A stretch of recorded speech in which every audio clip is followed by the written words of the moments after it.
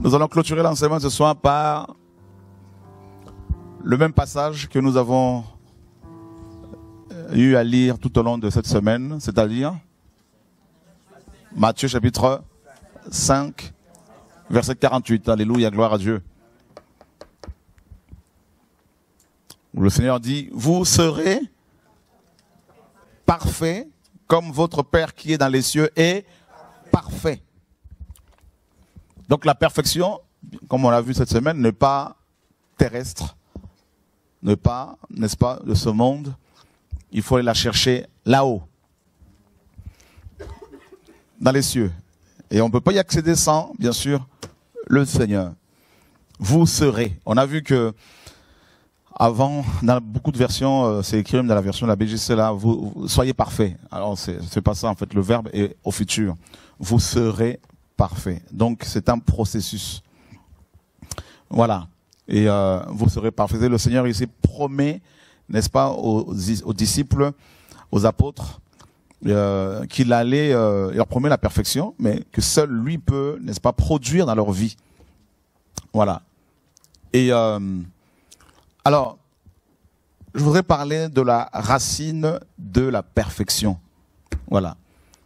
C'est vrai que si on dit à quelqu'un, voilà, tu seras parfait euh, euh, comme le Père Céleste, la personne peut te dire, oui, mais c'est impossible parce que moi, je me connais. Alors, euh, c'est impossible que je sois comme Dieu. Voilà. Et alors, il y a une racine, une racine à tout. Hein. Et la racine de la perfection, c'est la justification.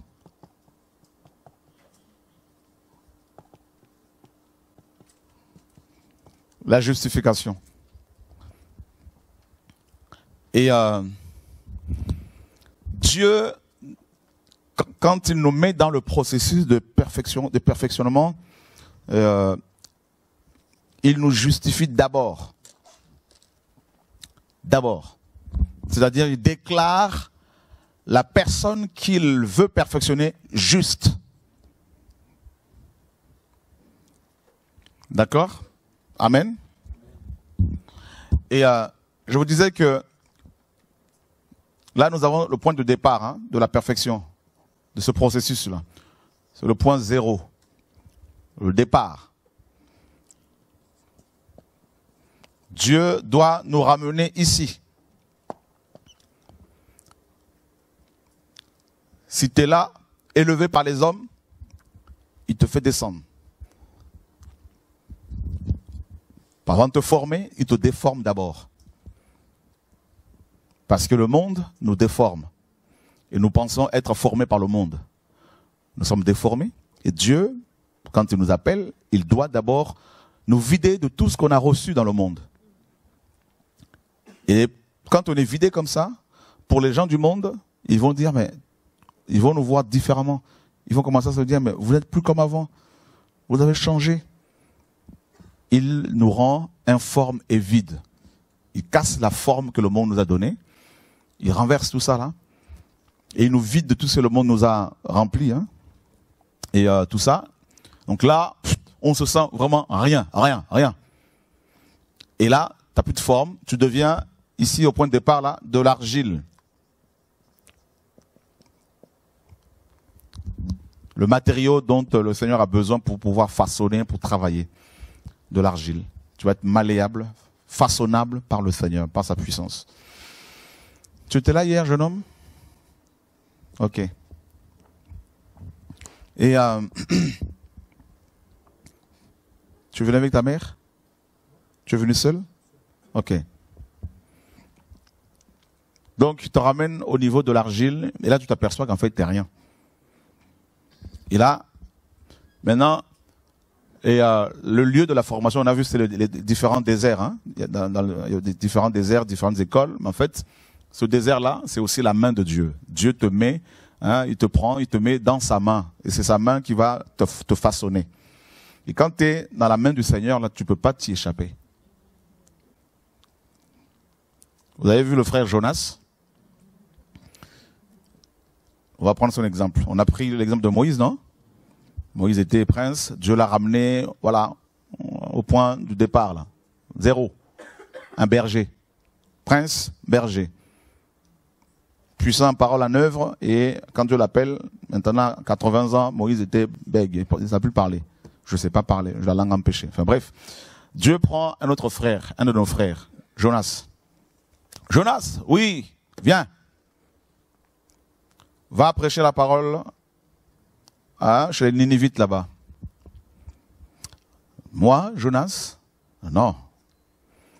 Pourquoi?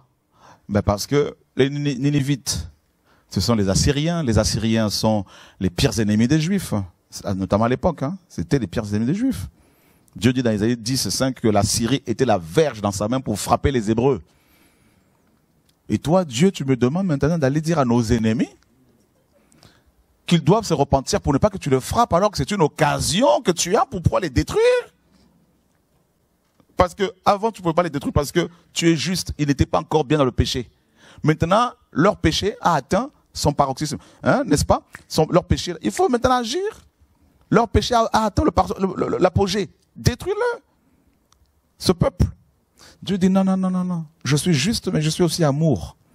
Jonas vient, il faut que tu partes là-bas. Mais Jonas dit non, moi je peux pas parce que je suis raciste. C'est ça en fait l'histoire de Jonas.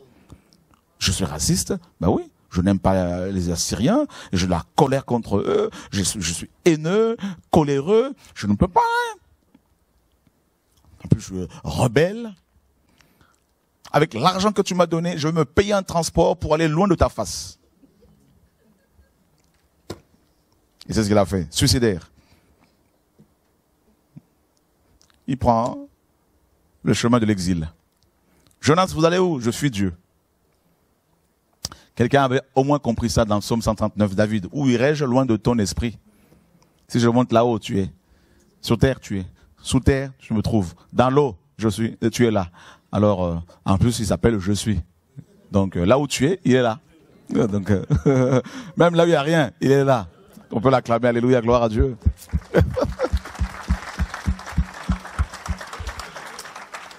Alléluia. Alors, je ne sais pas s'il y a aussi quelqu'un ici qui ressemblerait à Jonas, qui ressemble à Jonas, je ne sais pas. Mais en tout cas, voilà. Dieu qui appelle un homme qui est raciste, tout ça, nationaliste, tout ça, s'il était à notre époque, il ferait partie d'un certain parti politique, il serait membre là-bas. Voilà. Et là, il prend le bateau, il se sauve, et Dieu dit, vent, oui. faut savoir que c'était les démons, hein, ce vent-là. Hein. Voilà. Démon de vent, oui. Prince de l'air, viens. Oui, maître. C'est un démon qui se présente devant, devant, devant le ciel. Mais loin. Il souffle un peu là-bas. Là. Il va souffler. Ah ouais, dans cette barque-là, dans ce bateau-là, sur ce navire, chacun priait son Dieu. Hein. Chaque divinité. Hein. Marie, mère de Dieu, tout ça pour certains, et puis d'autres euh, priaient en direction d'une ville, et puis euh, euh, d'autres encore, c'était Bouddha, et personne n'a répondu. Ce jour-là, Dieu a dit aux démons, personne ne répond ici. Alors on va chercher Jonas, il dormait, il ronflait, pendant que tout le monde périssait. Là. Alors Jonas, c'est quoi? Non, mais moi, je, sais, je crains, il dit, hein, je crains le Dieu des Hébreux, Yahweh. Et comme Yahweh est le Dieu qui fait entendre son nom de loin, dont la renommée, tu vois, la renommée, c'est, et là, on dit, waouh, Yahweh! Les, les mariniers, disent, Yahweh, il faut pas le toucher. Toi, tu as affaire à Yahweh? Comment on va faire ici? On est, mal barré. Alors, qu'est-ce qu'on peut faire pour toi, pour que Yahweh se calme? Prenez-moi, jetez-moi, prenez-moi. Si je meurs là, c'est fini. Tu penses te suicider pour que ta, galère s'arrête, ta souffrance? Tu te trompes. Hop, il se jette dans l'eau. Dieu dit non, tu es là le processus de sanctification, de brisement.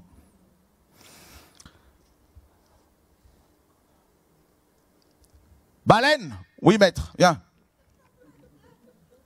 Il y avait certainement un, troupeau hein, de baleines qui se, baladait ce jour-là. Et puis il dit, toi, Antoine Oui, maître, viens. Va prendre le colis qu'il y a là-bas. Là va le déposer. Tu vois, la poste fonctionnait déjà à l'époque. Hein? Hmm? DHL. GPS et tout. Hein? Alléluia. Livraison. colis spécial.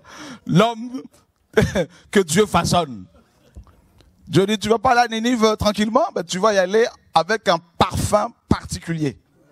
L'odeur du poisson. Trois jours de route. Le trajet. Avalé. Et là-dedans, dans cette école, il a appris à prier. Il se rappelle des, psaumes de David. Yahweh, je verrai ton temple. Dieu tu vas prier, tu n'as pas encore bien prié. Trois jours. Trois jours après, il est sorti. Imaginez un évangéliste qui sent du poisson comme ça, qui se bat dans toute la ville. Repentez-vous. Le message était fort. Vous voyez, après cette formation de trois jours là, intense, voilà le, ministère commence à secouer les gens. Vous voyez les résultats? Voilà pourquoi il faut laisser Dieu nous façonner, mes amis. Dieu n'appelle pas les gens parfaits. Toutes les personnes que Dieu a appelées, vérifiez bien, avaient des défauts comme pas possible. Je vous dis, Moïse, têtu. Dieu lui parle, non, non, envoie quelqu'un d'autre. Envoie qui tu veux. Pierre, Jacques et Jean, ils se battaient pour avoir des postes. Pierre, un gars violent, un menteur, un fabulateur. Il dit même si tous t'abandonnent, moi Pierre, je me connais jamais. Un pleutre, un peureux, c'est le premier qui va se tailler quand on va le Seigneur. Jean, le frère de l'amour, le disciple de l'amour, il était tellement, euh, en dessous là, il y avait rien, un linceul, en dessous rien. Ils étaient bizarres.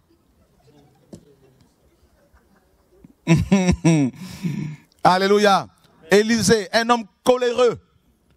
Des enfants se moquent de lui. Monte, monte, monte, chauve, monte, monte, chauve, comme ton maître est monté. Toi aussi, monte. Toi, tu es chauve, tu pourras pas monter. Il dit, vous vous moquez de moi, là? L'ours, les ours, allez, mangez-moi ces gens-là. Des gens comme ça que je dois appeler. Abraham, il dit à sa femme, tu sais, tu étais vraiment une femme d'apparence belle.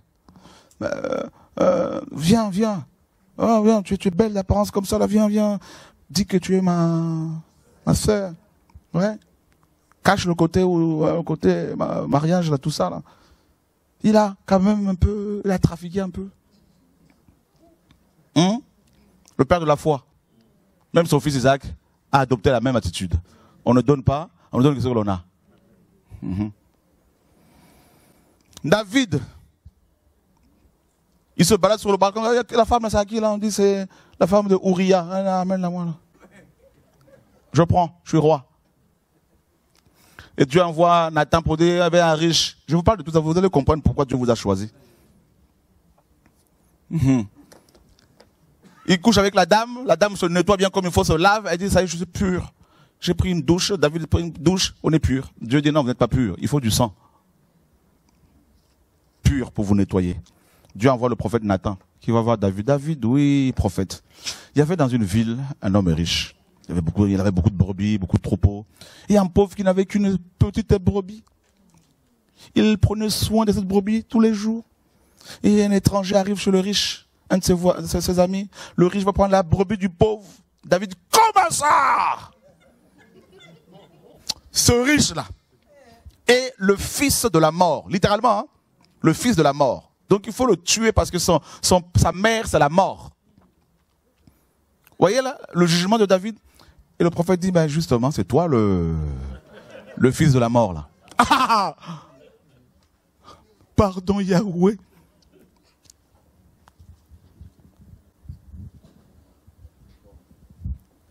Gédéon, Gédéon, oui, va renverser l'hôtel de ton père, l'hôtel de Baal.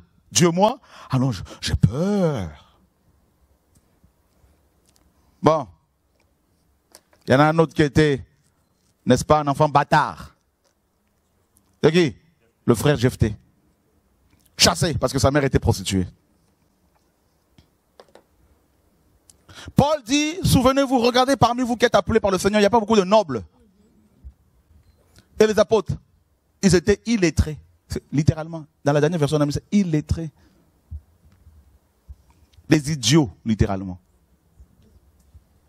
Jésus se baladait avec une bande d'idiots. Alléluia. On regarde à, droite Marie de Magdala, sept démons. Chassé d'elle. Donc, quelle réputation. Vous avez vu? Bah oui. Donc, quand ils entendent ouh, dans la délégation du Seigneur, il y avait des ex-prostituées avec une mauvaise réputation. Il y avait, mes amis, des collecteurs d'impôts, des gens qu'on haïssait, que les Hébreux haïssaient parce qu'ils les traitaient de collaborateurs des Romains, comme Lévi.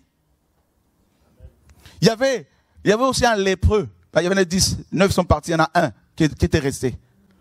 Imaginez ce lépreux, ce, lépreux pendant des années, tout le monde, les, gens le rejetaient.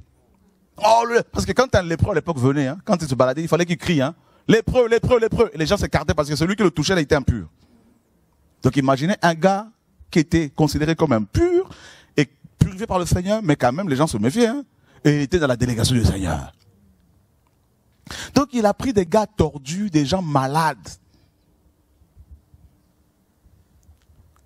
Et il les a mis dans sa main, l'école, dans le processus de perfectionnement. Il fallait les perfectionner. Et ça coûte cher. Ça coûte cher. Donc il les a ramenés au point zéro, au point de départ, l'argile. Il a dit, vous serez désormais des pêcheurs d'hommes. Il n'a pas dit, vous êtes des pêcheurs d'hommes, vous serez. Parce qu'il doit les perfectionner.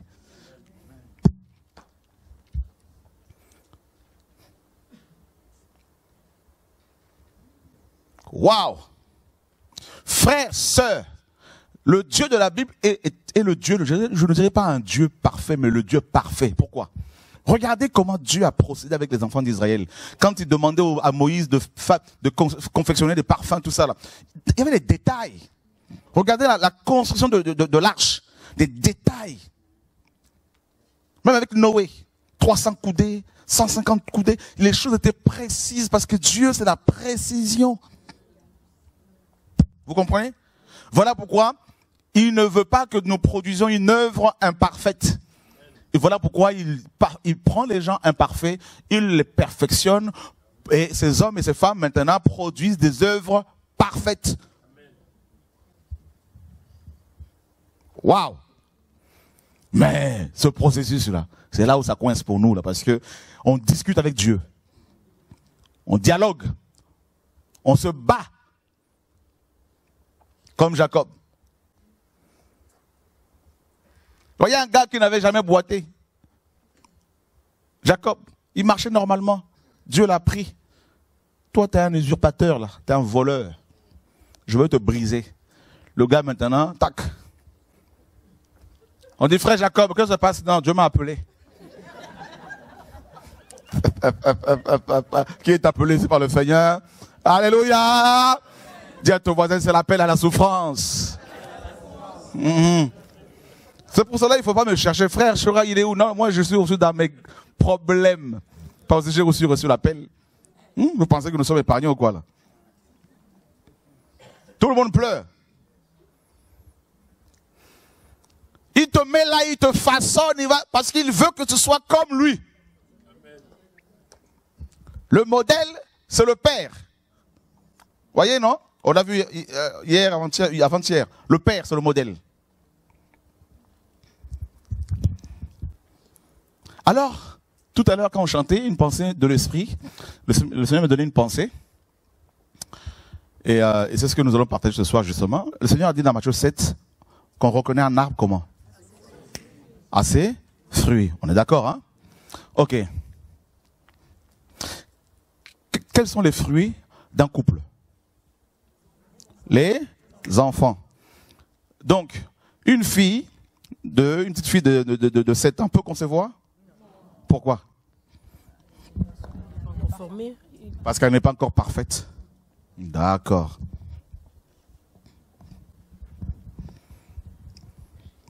Donc, quand Dieu dit qu'on reconnaît un arbre à ses fruits, il veut nous faire comprendre que nous devons être des pères et des mères. Vous allez comprendre. C'est des, des personnes capables d'engendrer.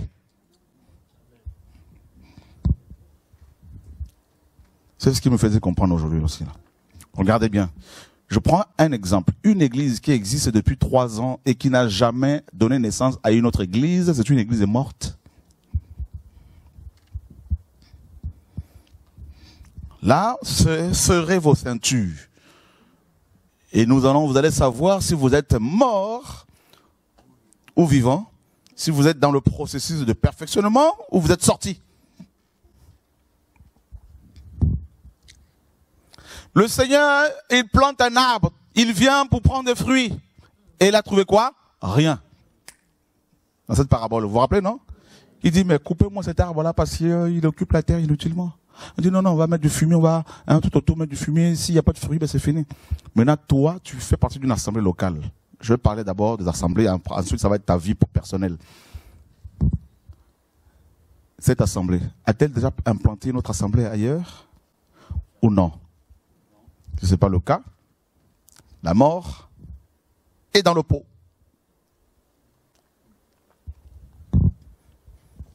Ça veut dire que l'assemblée est stérile. Parce que dans le processus de perfectionnement, là, Dieu nous libère de la stérilité.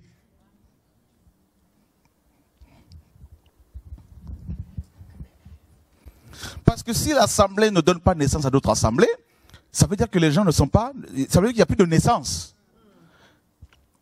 Et s'il n'y a plus de naissance, donc il n'y a plus de croissance. Et s'il n'y a plus de croissance, il n'y a plus de père, et plus de mère, capable d'engendrer.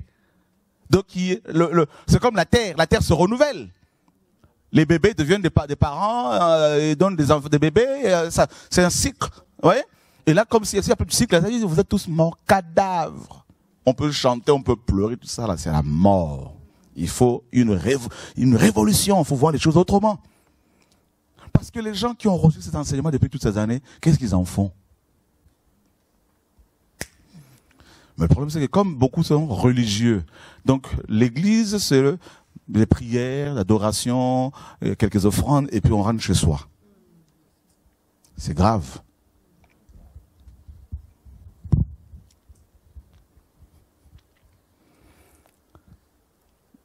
frères, sœurs, beaucoup sont morts.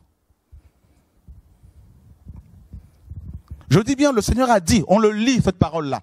On reconnaît un arbre à ses fruits. On reconnaît une église locale du Seigneur par les fruits. Et le Seigneur a dit dans Genèse 1, dans Genèse 1, il dit quoi? Yahweh les bénit. Et Yahweh leur dit, portez du fruit. Donc le fait de se démultiplier, fait partie de la bénédiction de Dieu. Donc, une des conséquences de la bénédiction du Seigneur, c'est la démultiplication, mais pas la multiplication, parce que la multiplication, c'est quoi? C'est des additions. C'est une addition. 1 plus 1, on additionne. Non, la démultiplication, selon Dieu, c'est le fait d'engendrer. C'est-à-dire de se reproduire, c'est la reproduction. Voilà. Voyez? Est-ce que vous comprenez un peu là? C'est-à-dire, toi tel que tu es là, Dieu t'a façonné, il t'a formé, et maintenant, tu vas engendrer. Voilà pourquoi, quand on parle de la généalogie de Yeshua dans Matthieu 1 et dans Luc 3, on nous parle des engendrements. Abraham engendra, hein, Abraham va engendrer Jacob. Non, Isaac. Isaac, Jacob. Jacob, les douze princes. Vous voyez à chaque fois. Mais c'est un message qu'on nous donne ici, là. Voilà. Le père de la foi avait un problème au niveau de la conception, au niveau de, voilà, des engendrements, tout ça. Et Dieu l'a libéré de cela et il l'a rendu, n'est-ce pas, capable de donner, n'est-ce pas, d'engendrer. Et sa femme libérée. Sa matrice, littéralement, était fermée et Dieu l'a ouverte. Vous vous rendez compte, frère? Ça fait des années que tu es assis dans la même assemblée, des années n'as jamais donné naissance à quelqu'un. L'assemblée n'a jamais donné naissance à une autre assemblée. Mais il y a la mort, là.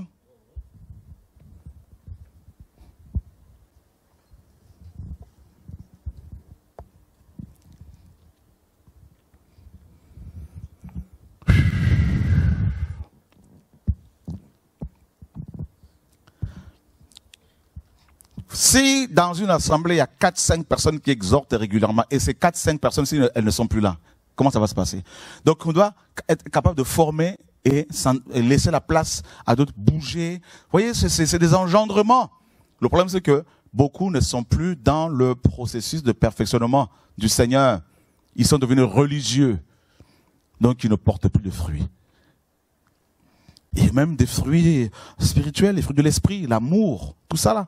La paix, la, simplicité, la sanctification. Je suis allé à, à, Bangui, en Centrafrique, nous sommes partis en mission avec, avec une équipe. Un pasteur là-bas, d'une église baptiste, je crois, baptiste m'invite à prêcher un dimanche. Et euh, il y avait à peu près 50 personnes. Et à la fin, euh, pendant que j'intervenais, le Seigneur m'a montré une femme sorcière qui était là. Et euh, m'a dit qu'il y avait une sorcière, tout ça. Et à la fin, le pasteur veut me voir, il me dit, ben, nous savons qui est cette femme, et nous avons tous peur d'elle. Et euh, il me dit, l'église existe depuis 27 euh, ans. Donc, euh, il a pas, on est tous ce petit noyau là, il n'y a pas d'autres, pas d'extension, tout ça. Je lui ai dit, mais c'est normal parce que vous êtes tous morts là-dedans. Et vous savez, quand moi ça sort, ça sort. Mhm. Mhm. Je dis, voyez, c'est la mort. Vous vous rendez compte, une église qui existe depuis 10 ans, depuis 5 ans, il n'y a toujours pas d'extension? Il y a un souci. Vous voyez pas qu'il y a un problème? Celui qui a commencé, qui a mis en place le premier McDo, il a pu en implanter d'autres. Vous voyez pas que ça vous enseigne, le monde nous enseigne? Ils ont copié l'église, ces gens-là. La démultiplication. Comment quelqu'un qui implante McDo, il pouvait en ouvrir deux ou trois, quatre, cinq, et nous qui avons l'esprit de feu, nous qui avons l'esprit qui a créé toutes choses. Et nous restons seulement en train de nous regarder, nous mater les uns tous les dimanches. Il n'y a pas qu'il y a un problème. Pourquoi le Seigneur veut que je... Dieu insiste là-dessus parce que je crois qu'il y a des dirigeants qui nous suivent aussi, des gens qui sont dans les assemblées qui doivent être révolutionnés. Regardez, vous avez fréquenté les assemblées à 10 ans, 15 ans. Vous n'avez pas vu qu'il y a, ah ça va pas là.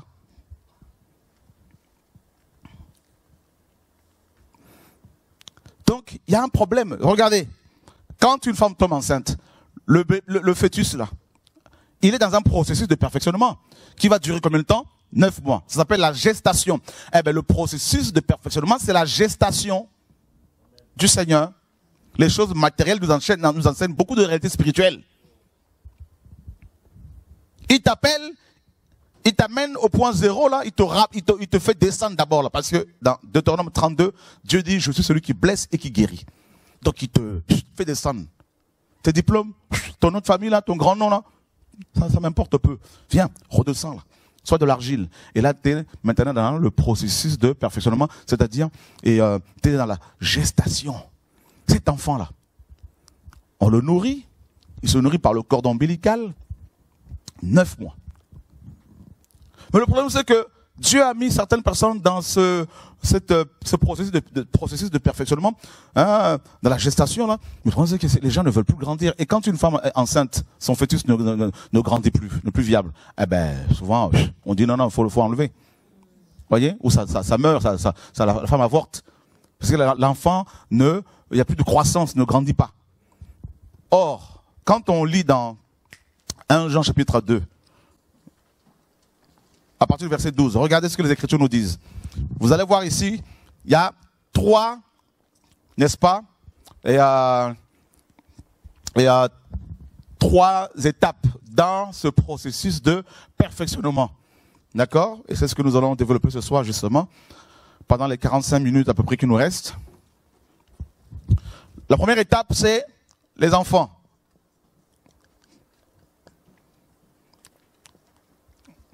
Aux bébés, aux petits-enfants. Jean le dit. Mes petits-enfants, je vous écris parce que vos péchés vous sont pardonnés à cause de son nom. C'est ça, non? Alors, donc nous parlons de la justification. C'est le point de départ aussi. Dieu t'amène au point zéro et il te justifie et te fait rentrer dans, n'est-ce pas, il te fait bénéficier l'œuvre de la croix. Parce que nous sommes déclarés justes grâce à l'œuvre de la croix. C'est le point de départ. C'est à la conversion. Donc tu ne peux pas être dans le processus de sanctification, de perfectionnement, si tu n'es pas converti. Tu peux être membre d'une église locale et sans être converti. Ah, c'est vrai. Amen. Donc il te met dans ce processus-là. Il te met là et, puis euh, il te façonne. Euh, et mais il faut d'abord naître là. Et là, là, c'est l'étape d'enfance. Et on parle des péchés qui sont pardonnés. La justification, c'est quoi?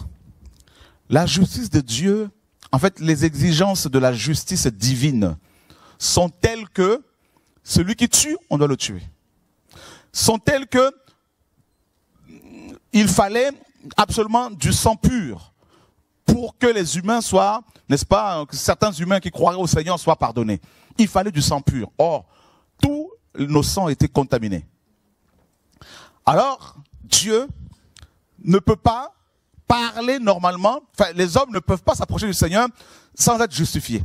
Parce que Dieu est tellement saint, tellement pur, même quand il n'est pas en colère, quand il ne se met pas en colère là, sa pureté est telle que si tu l'approches comme ça, tu brûles.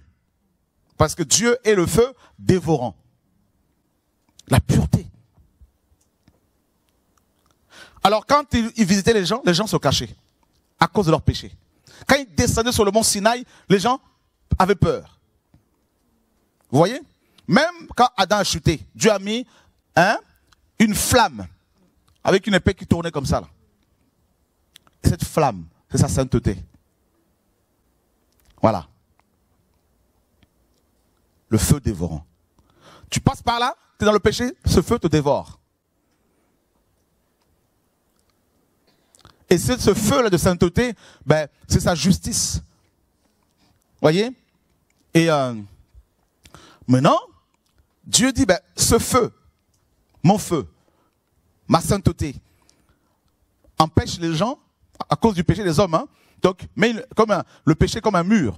Et ma sainteté, ben, est telle que ben, ceux qui m'approchent ben, sont grillés, meurent. Alors, qu'est-ce qu'il faut faire? Eh ben, il faut des gens justes pour pouvoir m'approcher. Alors Dieu prend son propre sang. Il devient homme. Et il accomplit parfaitement. Il répond exactement aux exigences, aux exigences de sa justice. Parce que son sang était pur. Il a répondu à ces exigences. Et là, il prend son propre sang, il rentre dans le sein de saint, il dépose ça sur le couvercle de l'arche. D'accord? Voilà. Le propitiatoire. D'où le mot propice. Dieu devient propice pour nous. C'est-à-dire, euh, maintenant, il vient, il dit, ceux qui veulent être sauvés, qu'ils viennent. Je vous donne les moyens pour pouvoir être sauvés. Et il y en a qui ont répondu à l'appel, les chrétiens notamment, véritables. Ils sont convertis et Dieu prend son sang, il les lave, il les nettoie. Donc du coup, il nous voit au travers, n'est-ce pas, de son sang. Et nous sommes déclarés justes avant que l'on ne produise une quelconque œuvre. D'emblée, il nous déclare juste. Parce que nous avons simplement répondu à l'appel. Parce qu'il nous a donné les moyens de le faire. Amen. Des justes, déclarés justes, mais avec des défauts. Juste par la foi. Romains 5 nous dit, étant donc justifiés avec Dieu, nous avons la paix avec lui. Justifiés par le Seigneur, pardon. Par le Seigneur Yeshua, nous avons la paix avec Dieu. Romains 5, 1. Donc déclaré juste. Mais là, tu pas encore, n'est-ce pas, euh, parfait dans l'amour. Hein? Voilà. Tu viens juste d'arriver. Le jour de ta conversion, le jour où tu t'es converti, mon frère, ma soeur, ce jour-là, Dieu dans les cieux a crié ton nom. Sébastien est juste désormais. Le diable dit, mais oui, mais ils sont convertis, mais il a encore des défauts. Oui, mais désormais, je le vois au travers, n'est-ce pas, à travers de mon sang. Maintenant, comme la justification, donc la croix, tout ça là, c'est la racine de ce processus de perfectionnement, eh bien Dieu maintenant peut commencer son travail parce que tu es justifié maintenant. Voilà pourquoi il dit, vous serez parfait comme le Père Céleste. Parce que vous êtes justifiés, et maintenant je vais vous nettoyer et nous prendre dans sa main maintenant, et l'ennemi ne peut plus nous atteindre. Parce que nous sommes dans ce processus-là. Là. Alléluia. Alors là, on se rend compte que malgré notre conversion, malgré le fait que nous parlons en langue, nous prophétisons qu'il y a l'onction, nous avons plein de défauts. Oh, mais comment ça se fait? Mais moi, je pensais qu'étant rempli de l'esprit comme ça, je n'allais plus avoir des pensées impures qui m'attaqueraient comme ça, là. Comment je peux encore trembler devant une femme alors que je suis marié? Comment je peux encore avoir des tentations comme ça Oh Seigneur, oh, oh, oh je suis possédé. Non, t'es pas possédé. Si t'es pas tombé dans un péché tout de suite, t'es pas possédé. C'est ta chair. Dis à ton voisin ta chair. Voilà. Donc maintenant, dans ce processus de transformation, ta chair va devoir être travaillé.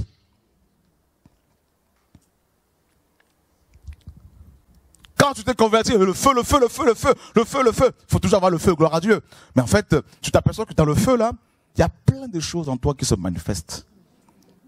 Seigneur, mais c'est bizarre, là. Je suis converti, mais j'ai encore des tentations, là. Des pensées bizarres qui me disent, oh non, Jésus de Nazareth. On dit, ma soeur, qu'est-ce qui se passe? Non, t'inquiète pas. Tout va bien par la grâce de Dieu. qui a déjà vécu ça? Soyons vrais. Ne soyons pas des religieux. Alléluia. Tu es converti, oui, tu es vraiment converti, mais tu te, tu te rends compte que face à une situation donnée, tu t'es laissé emporter. Tu t'es emporté, ah, moi, on me parle comme ça. Et puis à un moment donné, tu, quand tu te retrouves seul, tu as honte. C'est ça la différence ah, hein, entre le. C'est ça qui prouve que tu es converti, c'est ça. Tu te, avant, tu n'avais pas honte. Là, tu as l'impression que Dieu te, te regarde comme ça. Et puis tu te mets dans un coin, Seigneur, Seigneur, Seigneur, pardon, ton sang a coulé à la croix pour moi, Seigneur, mon Dieu. Alléluia. Avant, quand tu péchais, tout était normal. Avant, convoiter pour toi, c'était ta vie, c'était normal. Mais désormais, quand tu as affaire à la convoitise, ah Seigneur, oh non Jésus, oh non Jésus, mais qu'est-ce que Non, non, j'ai des, des, attaques. Voilà, ça prouve que tu es converti. Donc tu te rends compte que tu es tu, as une, il y a une lutte entre toi et toi-même. La chair a des désirs contraires à ceux de l'esprit. Et les deux sont opposés. Donc, en toi, il y a l'opposition en permanence. Tu prends le train, tu dis, Seigneur, aujourd'hui, là, au nom de Yeshua, les gens, qu'est-ce qui se passe? Ne vous inquiétez pas, tout va bien. Au nom de Jésus, Nazareth, Seigneur, mon Dieu. Quand tu rentres le soir, là, tu remportes, c'est comme si tu remportais une grande victoire, hein. Tu dis, ah, enfin, ah, je peux pas tomber aujourd'hui, Seigneur, ah, ah, Seigneur. Ah, c'est compliqué de travailler sur Paris, hein. Voilà. Actuellement, aller au pays, aux Antilles, non, non, pour l'instant, non, non, je reste un peu euh, chez moi ici, au bled ici, là, parce que c'est compliqué. Tu t'aperçois après 5 ans, 6 ans, 7 ans de conversion, tu te rends compte que tu es trop faible. Salomon, notre frère, a eu le même problème. Il s'est converti, il a eu la sagesse, il a eu une très belle femme. Mais il se rend compte que sa chair dit non, non, non, c'est pas suffisant. Il n'a pas su gérer une deuxième femme. La chair dit non, c'est pas suffisant. Troisième. Jusqu'à 700 princesses. Princesses. 700 princesses. Vous vous rendez compte 700 princesses. Waouh des princesses comme ça, 700. 700 alliances. 700 rois derrière. Le chiffre 7, la perfection dans la folie. 700 princesses, mes amis. Et il se dit, non, non, les 700 princesses ne me suffisent pas, il me faut aussi 300 concubines. Petites copines. Non officielles. 1000 femmes. Et par jour, il allait avec deux femmes et demie. Parce que un an équivaut à 365 jours. Donc 1000 femmes, c'est deux femmes et demie par jour qu'il avait.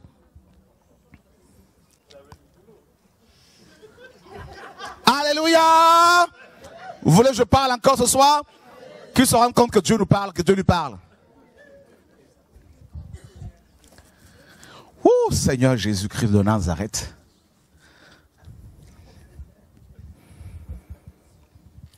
La chair. Tu as la grâce, mais la grâce, la grâce, c'est la grâce. On dit bien la grâce. Ce n'est pas, tu l'as pas mérité. Tu pries, les démons sont chassés, c'est la grâce. Ce n'est pas parce que tu as jeûné. Parce qu'il y a quelqu'un qui a dit sur la croix, tout est accompli. Donc, ça n'a rien à voir avec ta sanctification. On se trompe. non, rien. C'est pour cela qu'il a dit, beaucoup diront, n'avons-nous pas chassé les démons par ton Non il leur dira, retirez-vous de moi, vous qui commettiez le péché. Vous vous rendez compte? La grâce. Et beaucoup de chrétiens se font avoir parce qu'il y a la grâce qui se manifeste, ils pensent qu'ils sont parfaits. Ils disent, non. Non. Et là, ils te mettent dans ce processus-là. Tu ne te comprends pas toi-même. Mais qu'est-ce qui m'arrive? Moi, avant ma conversion, j'allais bien, tout allait bien pour moi. Maintenant, là, c'est combat sur combat. Ma tête, ma tête est attaquée. Je sors là, je, prends toujours autorité au nom de Jésus de Nazareth. Il faut baisser le regard quand il y a des femmes bizarres ou des hommes bizarres. Seigneur, je suis là à prière, aïe, au nom de Jésus. Qu'est-ce qui se passe? Là, tu, je m'apprête à manger. T'as qu'une pensée bizarre qui m'arrive comme ça. Je vais ouvrir la Bible, tout ça, tac, tac, et le sommeil qui, oh, au nom de Jésus de Nazareth. Qu'est-ce que ça passe? Parfois, je suis là tout seul, une colère qui me prend comme ça, je comprends rien. Tout ça, j'ai envie de parler à personne, tout ça. Ton caractère se manifeste, on dit, mais oula. Dieu, tu es encore un bébé. C'est la première étape dans ce processus. Un bébé qui ne peut pas tout de suite engendrer. Et Dieu, avec un bébé, vous savez, comme une mère, hein, une mère est toujours présente. Voyez, non? Là, tu as beaucoup de révélations, tu as beaucoup de choses qui se passent, tu as beaucoup de choses parce que tu es bébé. Il faut d'abord que tu aies une expérience avec le Seigneur en vue de la souffrance qui, arrive. Mhm. Là, tu as beaucoup de songes, beaucoup de visions. Dieu te visite souvent. Quelle grâce, vraiment, la sœur, là. Le frère, il vient de se convertir, mais là, vraiment, là, le Dieu lui parle tous les jours. C'est normal parce que c'est un bébé. Le bébé, il doit avoir du caractère. Il faut que le caractère soit bâti. Il faut qu'il soit travaillé. Parce que demain, quand ça va chauffer, il faut, va se rappeler toujours de son passé. Ah, j'étais vraiment converti. Ah, Dieu existe vraiment parce que j'ai vu. Parce qu'un temps viendra où le papa dira, le père céleste dira, ben, va un peu seul, mais je suis toujours là, mais tu ne verras pas comme avant. Tu vas apprendre à marcher par la foi et non par la vue. Mais le bébé, il doit d'abord voir. Le bébé, quand tu le mets dans son berceau, là, il cherche sa, il cherche sa maman. Hein. Sa maman, ça me dit, ah, non, non, non. Vrai ou faux? Dieu nous apprend beaucoup de choses. Observez la nature, là, vous allez apprendre beaucoup de choses. Le bébé, quand il est là, tu prends ton bébé comme ça, là, quand tu sens que l'odeur, par l'odeur, maman est là. Bah, euh, il touche comme ça, il il tac. ah, ça va. Tu vois, une, une femme comme ça sur le lit, sur son lit là, avec son bébé là, le bébé, euh, la jambe sur la maman comme ça là. Hein? On dit, mais le bébé a six mois, mais comment il peut savoir tout ça? Vous mettre la jambe pour bloquer la mère comme ça, parce que il veut s'assurer que la, la maman est là, elle va pas. C'est ce que les bébés spirituels aussi font, hein? Je veux m'assurer que Dieu est là. C'est tu vas pas parler sur non, vision. Oh, gloire à Dieu, oh, Dieu m'a parlé. D'ailleurs, quand les nouveaux parlent comme ça, les anciens sont là. Mm. Alléluia! J'étais au ciel, t'étais au ciel, oui. Gloire à Dieu. Je suis allé au paradis, au paradis, gloire à Dieu. Ben, tu vois beaucoup, il y a beaucoup de choses que tu vois. Tu es bébé.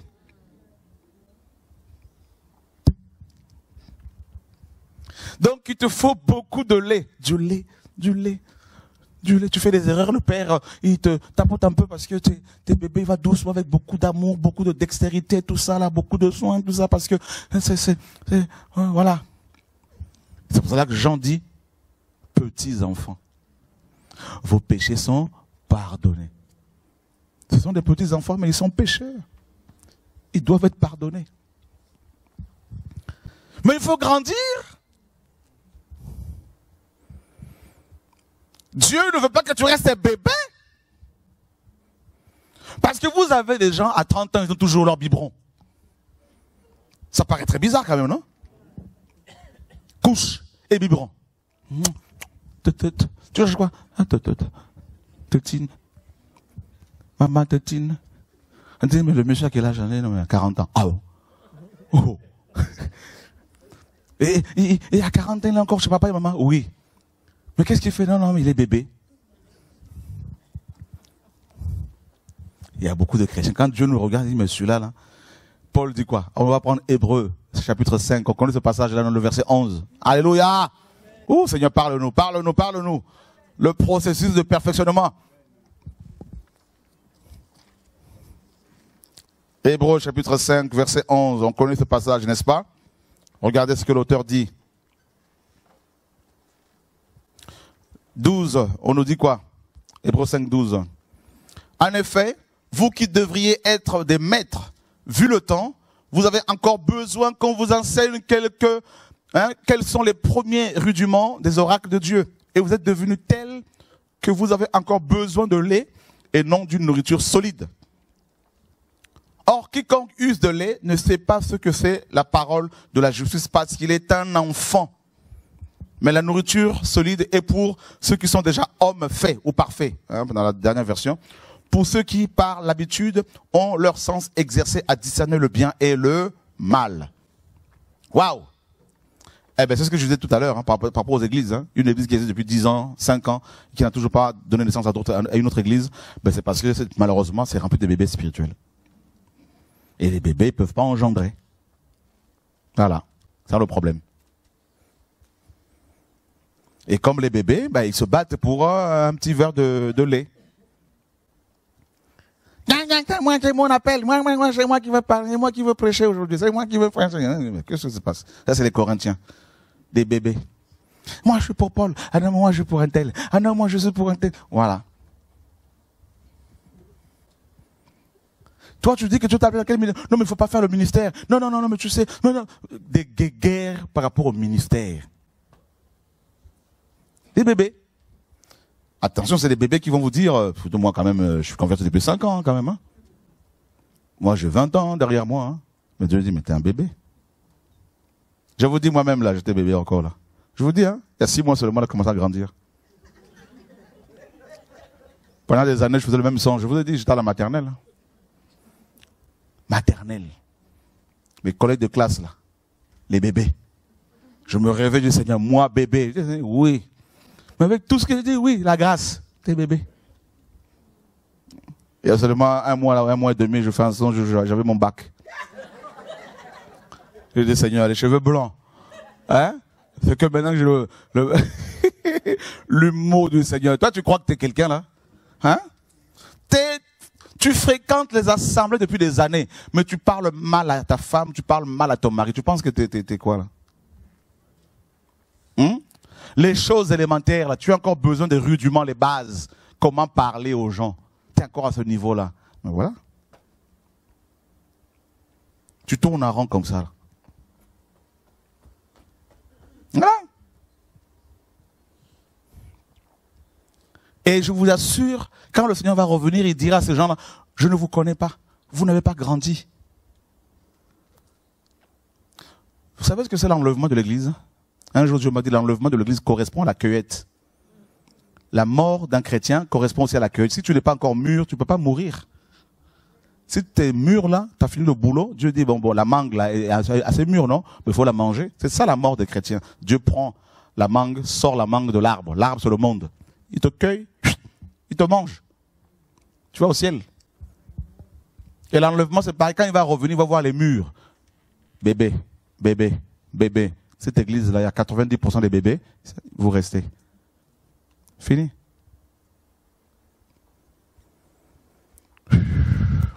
Oh Seigneur. Tes péchés sont pardonnés. Tu es bébé. Donc logiquement, tu dois avancer. L'ennemi ne peut plus te réclamer. Parce que tes péchés sont pardonnés. Tu n'es plus bloqué. Tu n'es pas encore là en train de chercher à savoir les liens. Non, mais j'ai encore des liens spirituels, des liens familiaux, tout ça. Non, non, tu es libéré, tu es pardonné. Bébé, oui, pardonné le bébé là, on a coupé le cordon, pas à la naissance. Vrai ou faux? Voilà. Maintenant, ce bébé a besoin du lait. Le lait. 1 Pierre 2 nous dit, désirez le lait spirituel. Tu es là, tu fréquentes des assemblées, tu vis en programme de réveil depuis des années, mais tu as une double vie. Tu fais semblant d'être correct, mais dehors, comment tu t'habilles? Sexy. Qu'est-ce que tu fais dans les coulisses tu joues un rôle. La nuit, tu fais quoi quand les autres dorment, là, tout ça, après avoir prié le Seigneur. Toi, tu sors la nuit, tu vas, tu vas voler. Toi, je pense que Dieu ne te voit pas dans la sorcellerie. Tu viens te cacher, tout va bien, tout ça. Là. Je parle à quelqu'un qui est ici, là, qui est sorcier.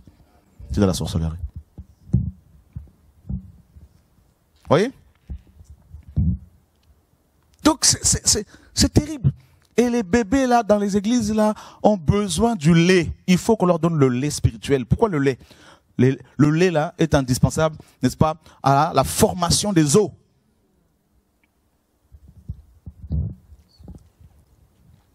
Le lait. Il faut commencer par le lait. Mais maintenant, ils se convertissent, on commence déjà à leur parler des grands ministères. On les tue. On les tue. le lait, le lait, le premier lait qu'on doit donner aux enfants, aux nouveaux convertis là dans les églises là, ceux qui ont des chewing-gums, pour les mettre de côté s'il vous plaît. Le lait là qu'on doit donner aux gens, le premier lait là, c'est Dieu lui-même. Qui est Dieu? Le premier commandement le Seigneur dit tu aimeras le Seigneur ton Dieu de tout ton cœur, de toute ton âme, de toute ta pensée, de toute ta force. Le premier commandement le lait. Maintenant, on vous parle de ministère. Toi, tu es un grand apôtre. Tu es une grande prophétesse. On te tue dans l'œuf. Tu n'es pas encore sorti, on te tue. C'est pour ça que faites attention aux gens même qui viennent au programme de réveil, même chez nous, qui vous sortent des prophètes dans les coulisses, là. Les prophètes des malheurs, là. Qui n'osent pas prophéter devant tout le monde parce qu'ils savent que là, le discernement, on va on va fermer leur bouche avec leur prophétie démoniaque. Quand c'est Dieu, on accepte, mais quand c'est la chair, on sait que ça, c'est le diable. Tais-toi. Et ça va vous attraper dans un petit coin pour vous prophétiser, pour vous envoûter avec les prophéties. Ils vous tuent. Prophétie sur le mariage, prophétie sur telle chose, prophétie sur telle chose, tout ça, là. Ils vous tuent.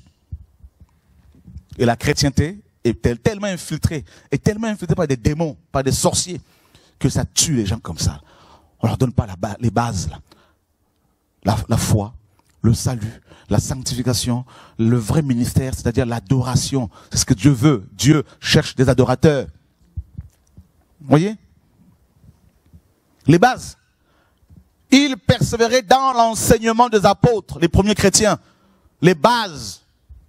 Comment voulez-vous qu'un arbre tienne face au vent si, n'est pas, n'est-ce pas, enraciné dans le sol, s'il n'y a pas les racines? Tu vois aujourd'hui notre génération des chrétiens convertis à peine, ils ont déjà des grands ministères, ils ont déjà des sites internet, ça va crier partout comme ça. Mais ils sont en train de mourir là, les amis. Là. Même la nature nous enseigne. Un enfant qui vient à peine de naître, là, vous voulez déjà qu'il se marie, qu'il ait son permis?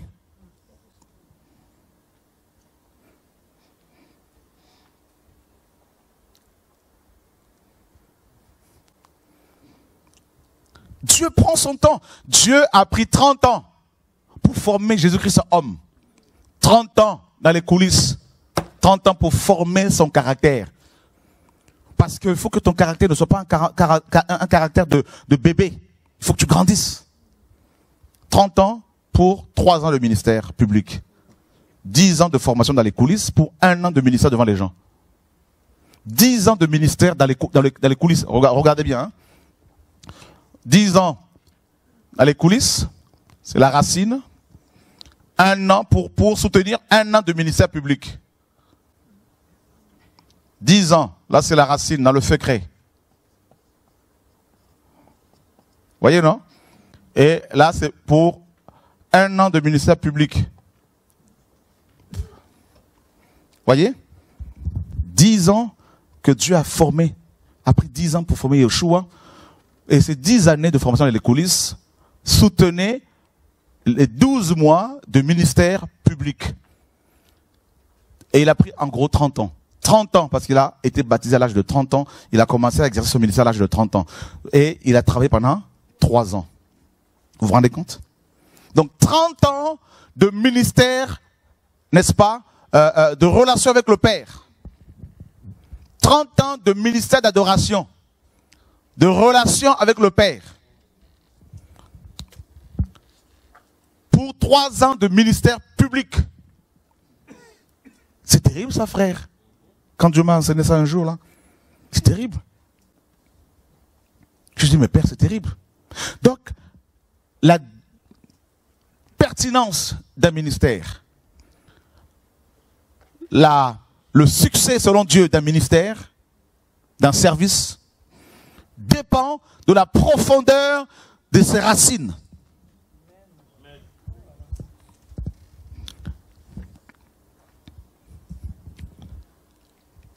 30 ans d'enracinement avant que l'arbre Jésus ne sorte pendant trois ans seulement. Pourquoi? Si tu sors aussitôt, alors que tu n'as pas de racines, tu, ne peux pas tenir face au vent. Parce que tu es exposé au temps. Tu es exposé aux belles paroles des hommes. Exposé à la mauvaise compagnie. Exposé à la sorcellerie.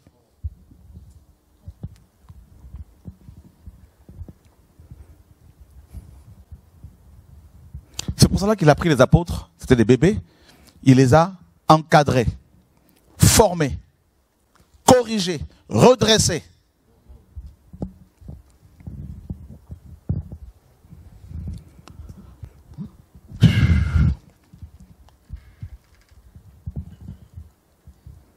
Alléluia. Oh Seigneur.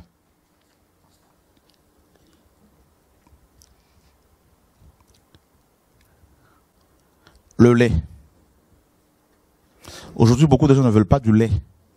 La croix, la sanctification, la sainteté, la crainte de Dieu, le service, le savoir vivre, le savoir vivre, surtout le savoir vivre. Ça manque à beaucoup de chrétiens, beaucoup de chrétiens, beaucoup de prédicateurs, beaucoup de dirigeants. Le savoir vivre. Quelqu'un, tu te rends service avec sa voiture, tu dois mettre de l'essence.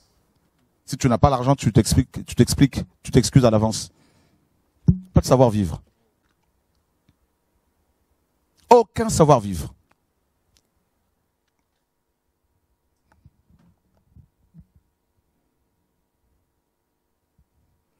La ponctualité. Plus de son là. La ponctualité. Être ponctuel. Le sérieux. Voyez?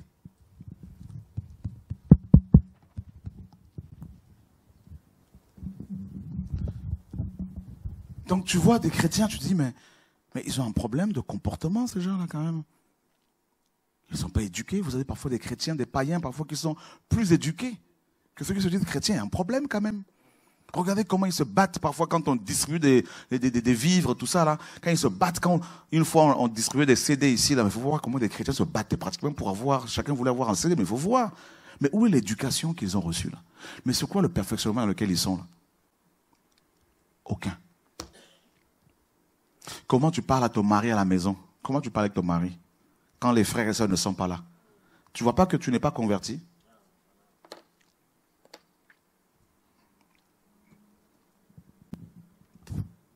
Tu me diras, il est méchant, il est méchant. oui, mais le Seigneur, comment le Seigneur était avec les gens qui le, le, frappaient? Il y a des problèmes, problèmes. C'est pour cela qu'il n'y a pas de fruits. Beaucoup de chrétiens vont faire l'œuvre, mais il n'y a pas de fruits. Comment voulez-vous que les, résultats soient là? Physiques tels que, pour une église par exemple locale, euh, la démultiplication, d'autres assemblées d'implantés. Comment voulez-vous qu'il y ait tout ça là? Si au niveau de votre caractère, il y a un problème, si vous êtes bloqué au niveau du caractère, au niveau de l'amour, au niveau de l'humilité, la sanctification, la sainteté, la simplicité.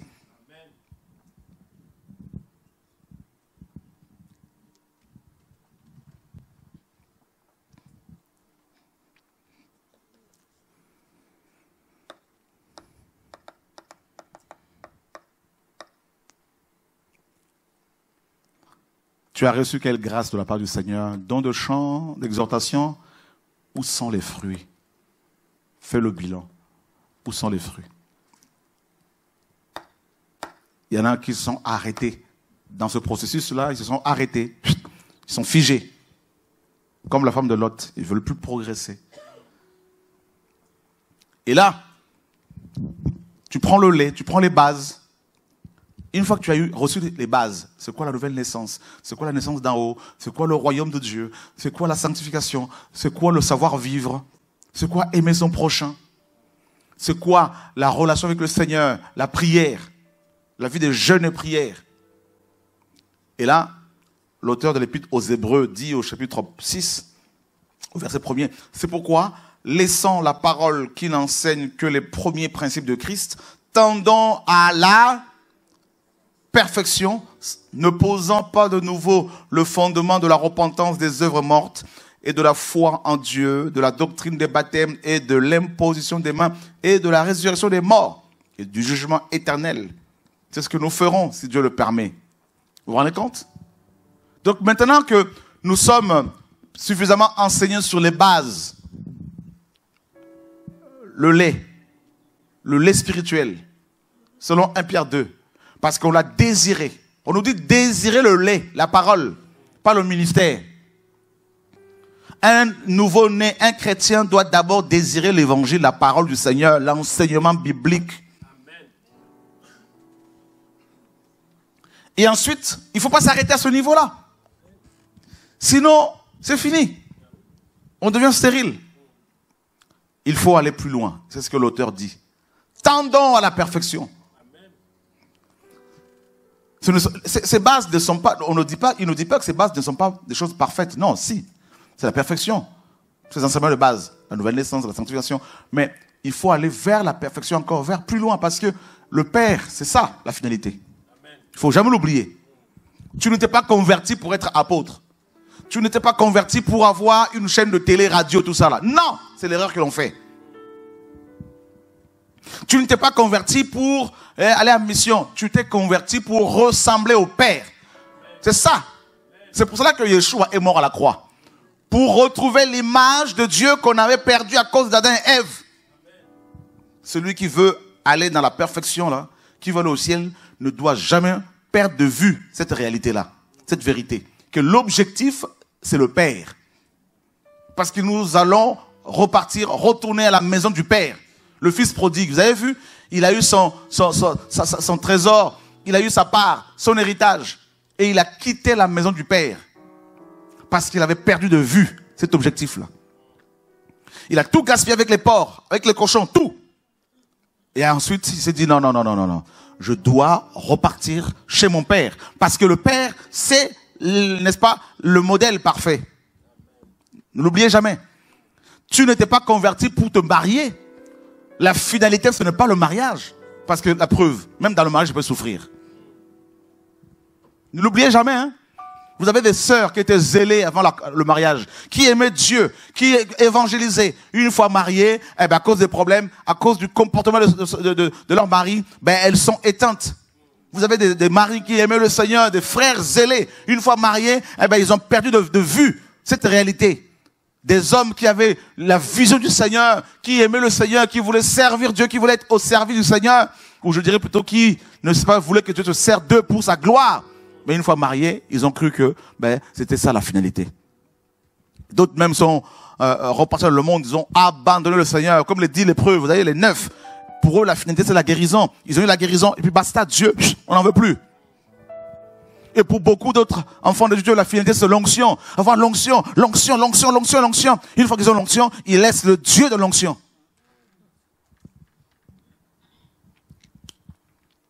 C'est grave. Et ils se figent. Et là, l'auteur dit non, non, mais allons plus loin. On a reçu les bases, oui, mais la, la semence que tu es, la graine que tu es, a déjà poussé les racines, d'accord. Maintenant, il faut monter. Il faut aller plus loin. On descend, c'est la mort. Mais on doit ressusciter pour aller vers le Père. Soutenu par le fondement, par la fondation, par les racines. Alléluia. Combien de chrétiens aujourd'hui n'arrivent pas à prier parce qu'ils ne, parce qu'ils ne trouvent pas euh, de, de, de, femmes, de maris, tout ça là, ils se, sont découragés. Et, et, et Dieu, Dieu se dit, mais en fait, pour vous, pour vous, je suis, quoi? Je suis qui? Juste celui qui bénit? C'est tout? C'est comme ça que vous me voyez? Celui qui est là, qui doit répondre à vos besoins? À vos exigences? Vous levez la main, j'exécute? Donc vous ne me connaissez pas.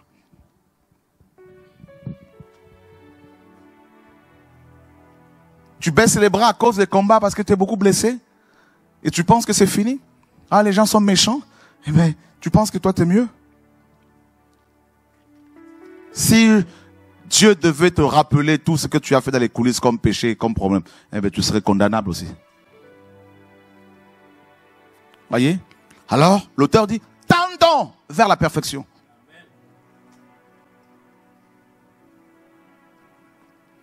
Ils ont péché pendant la nuit, ils n'ont rien eu.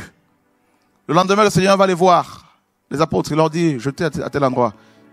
Ils ont eu beaucoup de poissons. La Bible dit, ils ont tout laissé. Ils sont partis avec le maître. Parce que la finalité, ce n'était pas la pêche.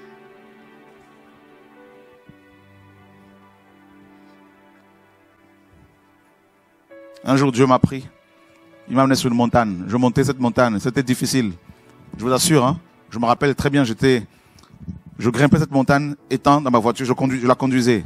Elle se, retourner parfois et se cabosser, tout ça là. Mais grâce à Dieu, dans cette vision-là, pendant que je dormais, j'ai réussi à atteindre le sommet. J'arrive au sommet, il y avait la gloire de Dieu, il y avait beaucoup de frères et sœurs qui étaient là.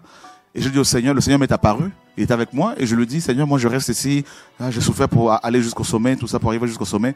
Il me montre une chaîne de montagnes devant moi. Plusieurs autres montagnes. Il me dit, il faut que tu redescendes, que tu escalades de nouveau euh, la montagne, la prochaine montagne, et ainsi de suite. Je lui dis, mais moi je préfère rester ici. Il me dit, mais si tu restes, moi je continue. C'est-à-dire, tu escalades une montagne dans la marche chrétienne. dans ce processus de, perfection, perfectionnement. Tu escalades, tu fais des œuvres, tu fais des œuvres. Et un moment donné, le Seigneur te dit, bon, maintenant, tu t'envoies, tu passes à autre chose. Laisse ça. Et il faut être capable de laisser. Il faut être capable de laisser. Quand je dis aux frères et sœurs, vous êtes dans les assemblées depuis des années, vous ne pouvez même pas laisser votre assemblée ne serait-ce que cinq mois. Vous êtes idolâtre du lieu de prière. Vous êtes religieux, vous êtes mort. 7, 8 ans, au même endroit, vous tournez, tournez en rond, tournez au même endroit, alors que as des gens, vous avez des gens qui meurent ici et là, mais vous êtes mort. Vous pensez être réformé? C'est la mort, là. Il n'y a personne qui peut vous remplacer. Donc si vous mourrez, la vision, la vision meurt. Vous vous rendez compte? Il y a un problème.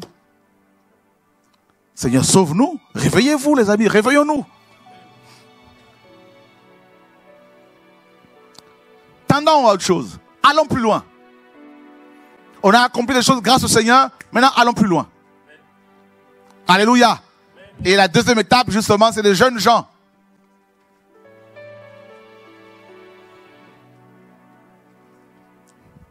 Là, l'auteur nous dit dans 1 Jean 2, au verset 13, il nous reste 20 minutes.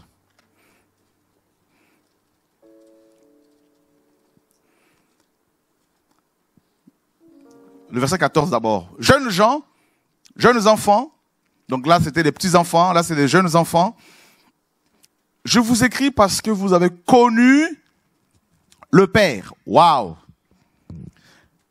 Seigneur mon Dieu. Là, dans la croissance, là, parce que le, processus de perfectionnement n'est autre que la croissance. La croissance spirituelle. Amen. Et dans ta croissance, en fait, tu découvres le Père. Je vous ai dit que le modèle, c'est le Père. Vous voyez, non? Donc maintenant, les jeunes enfants, les jeunes gens, connaissent le Père.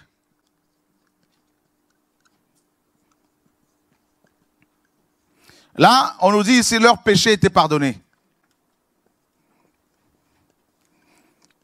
Vous voyez la progression? D'abord, tes péchés sont pardonnés, tu es déclaré juste, donc maintenant tu peux faire la connaissance du Père. Parce que le Père est juste. Donc il t'a déclaré juste, maintenant tu as une relation avec lui. Et c'est ce que Dieu veut. Il permet nos souffrances là, les épreuves, parce, pour nous faire, n'est-ce pas, pour nous donner la révélation de, de lui-même. Et beaucoup de chrétiens, malheureusement, malheureusement, cherchent la relation avec des pasteurs. Ah, on n'a pas encore le numéro de la frère, du frère Chora. On cherche son numéro. Mais tu, cherches mon numéro pourquoi là? Moi, j'ai mes problèmes. Laisse-moi aussi chercher mon, hein, euh, ma relation là. Je suis avec le Père là. Cherche-le. Tu vas voir, il ne déçoit personne. Vrai ou faux? Faites l'expérience. Invoquez-le, vous allez voir. Jeunes gens, vous avez connu le Père. Est-ce qu'on peut le dire à nos chrétiens d'aujourd'hui Très peu. Hein Parce que celui qui connaît le Père ne va pas courir de site internet à site internet pour chercher quoi? Vous voyez? Vous cherchez quoi? Génération tactile. On est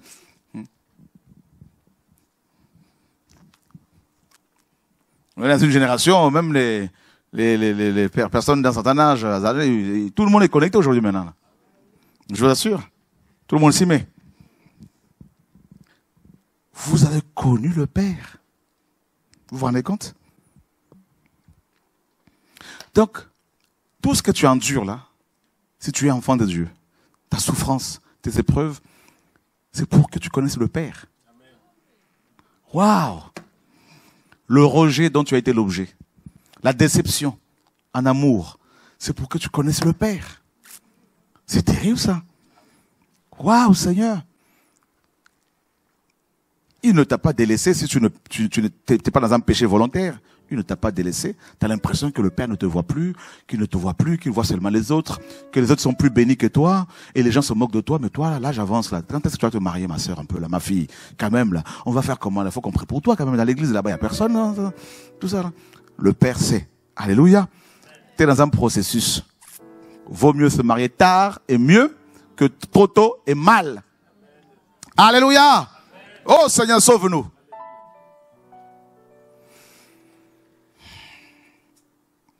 Pourquoi les jeunes gens connaissent le Père? Parce que, tu vois, parce que il faut, il faut, la, en fait, la connaissance du Père, la révélation du Père, nous, nous, révèle notre propre identité. Parce que notre identité, ton identité, ne se trouve qu'en qu'en Dieu. Ça, vous le savez. Qui tu es, véritablement. Tu vas répondre, je suis avocat. Oui, mais selon Dieu, tu es qui? Ça, ce sont les hommes. Il te faut une identité.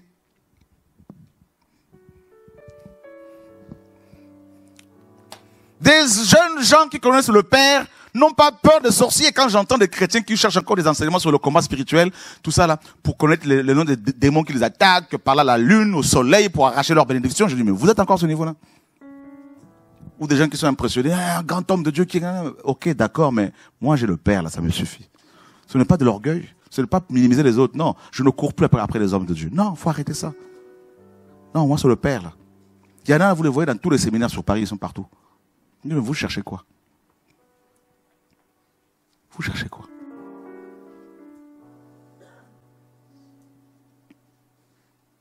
Cherchez quoi? Le Père.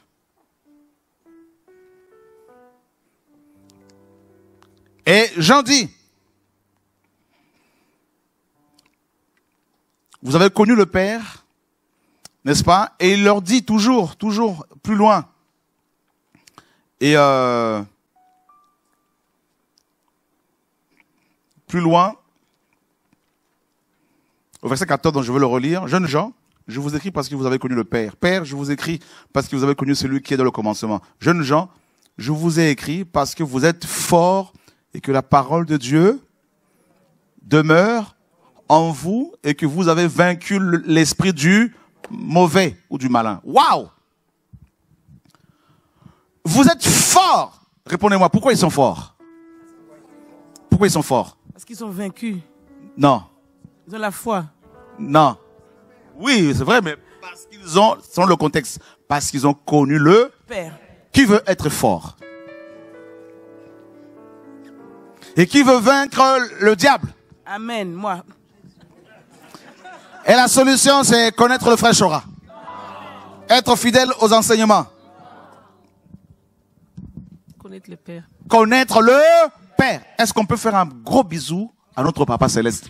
Papa, prends tous ces bisous pour toi au nom de Jésus-Christ. Moi, Toi seul le mérite. Parce qu'on va le on va faire des bisous toute l'éternité, là, mes amis. On aura toute l'éternité, là. Vous avez vu les conséquences de la connaissance du Père? On est fort? Hein?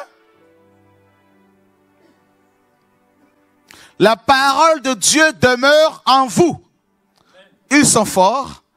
Deuxièmement, la parole demeure en nous. Et troisièmement, ils ont vaincu. Waouh La parole est simple, hein? Voilà. Marine, c'est terrible.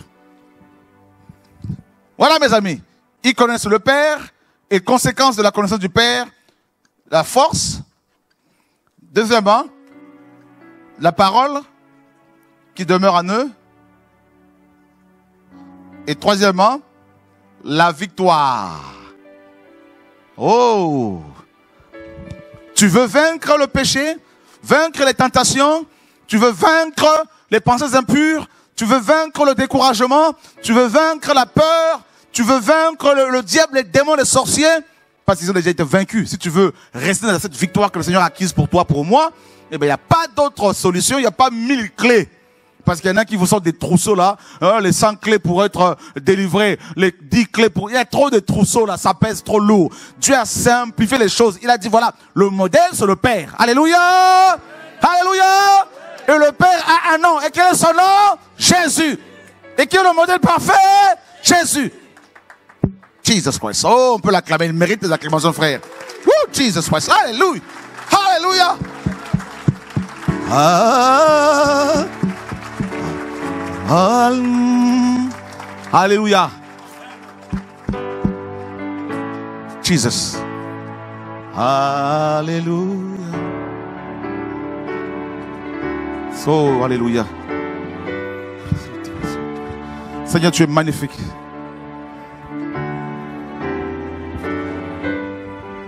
Alléluia. Le Seigneur Tout-Puissant, Roi des rois. Le roi est sur son trône ce soir encore. Alléluia. Oh! Alléluia.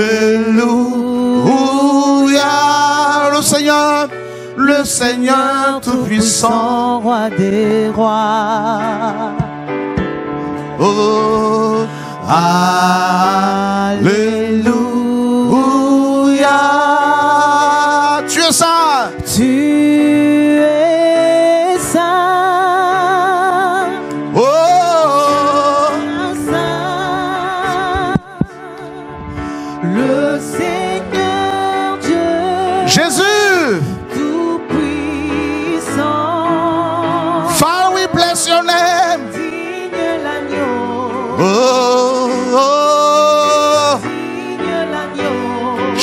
Es saint. Jésus. Tu es saint, Oh, oh. saint. le Seigneur. Seigneur Dieu de gloire. Digne. Mot sans tout. Amen. Amen.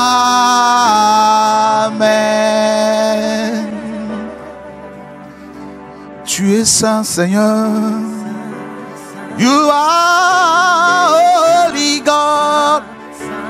We need you, Lord. We reverence your name. Hallelujah. We thank you, Lord. You are God. Oh.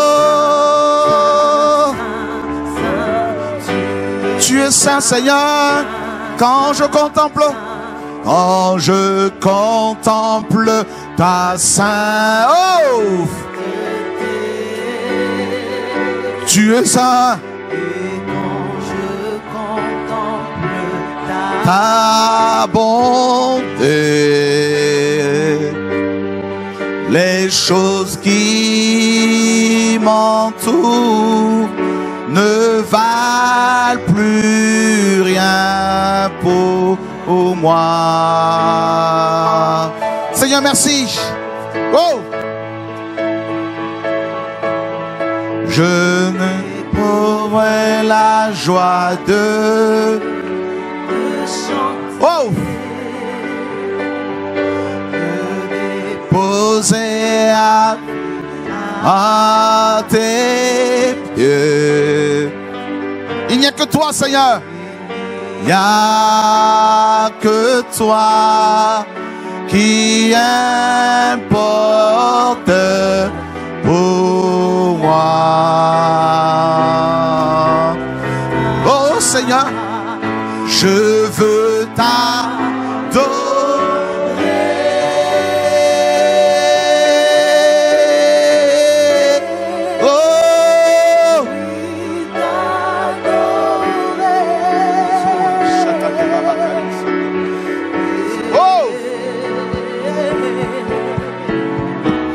La raison. Seigneur, merci.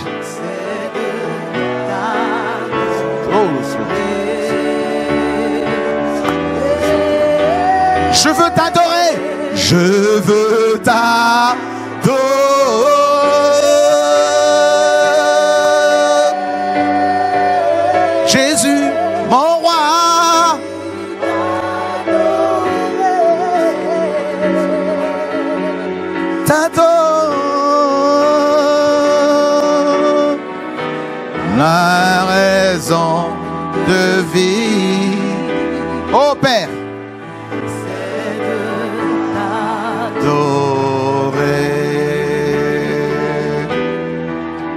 Seigneur, merci.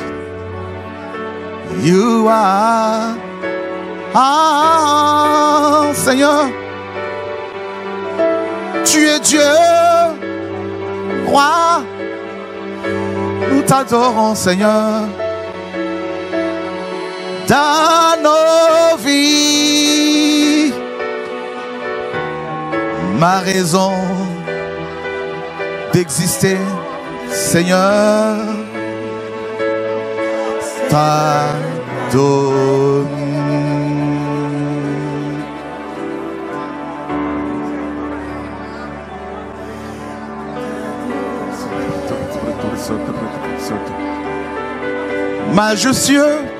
Oh Seigneur, magnifique est ton nom, Seigneur. Magnifique est ton nom.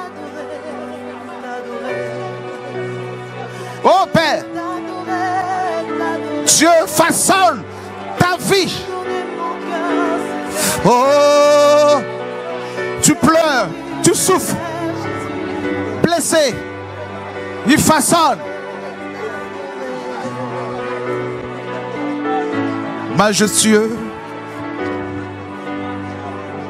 Père, merci.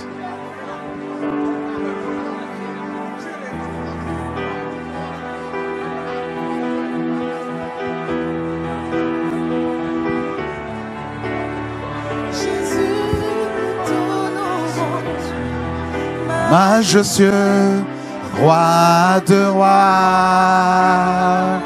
Oh! Majestueux, roi de rois.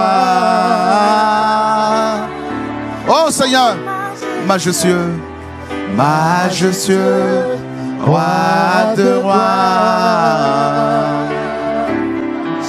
Élevé, élevé en sainteté. Jésus, nous t'honorons, élevé en sainteté. Jésus, nous t'honorons, mon cœur humilié, nous nous approchons de ton trône de gloire, Jésus, et nos cœurs humiliés, nous nous approchons de ton trône de gloire, Jésus.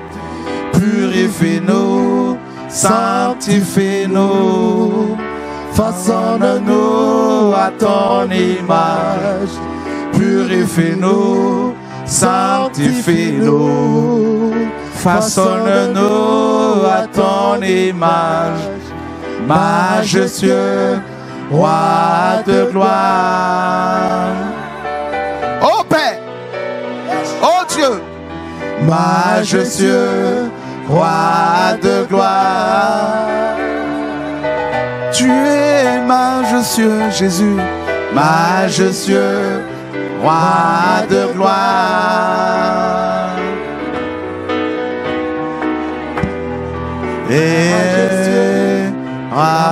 De gloire. Est-ce qu'on peut l'acclamer? Alléluia. Majestueux.